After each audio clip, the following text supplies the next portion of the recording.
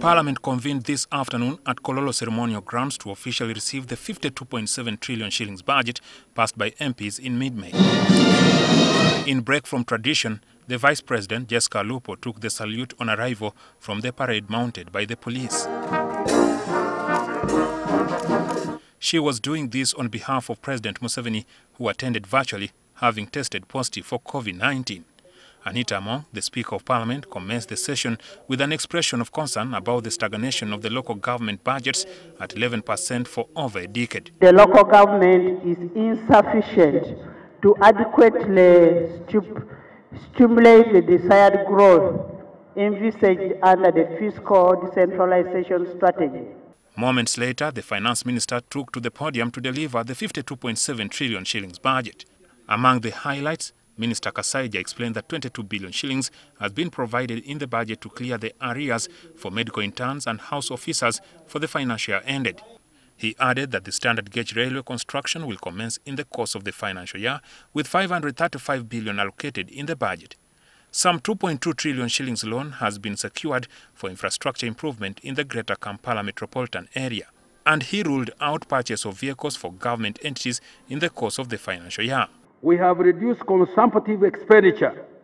During next financial year, there will be no purchase of new vehicles for political leaders and public officers except for hospital ambulances, medical supplies and distribution, agricultural extension services.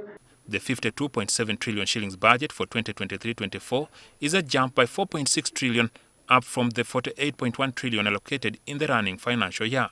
The government plans to generate the majority 29.6 trillion shillings, representing 56% of the budget, from domestic tax and non-tax revenue.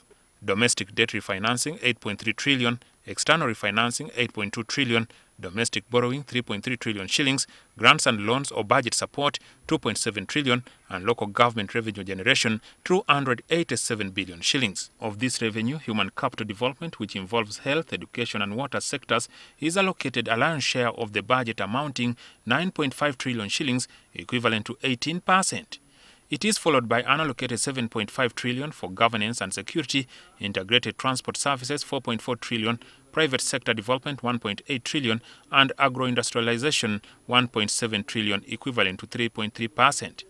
Some of the new tax measures to raise the budget is expected to come from the 18% VAT on diapers, slapped a 10% social media tax on the providers of the services like Facebook, Twitter, Google, or Netflix, 75 shillings per litre of bottled water, and gaming activities 30%. Next financial priority has been placed on improving tax administration, including use of ICT to fight tax evasion and rationalizing tax exemptions to improve their effectiveness and reduce revenue leakage.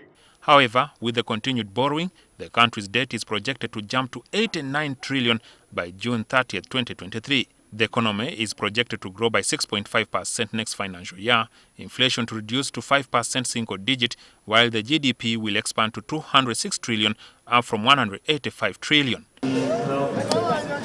Jackson Onyango, NTV, at Kololo Ceremonial Grounds.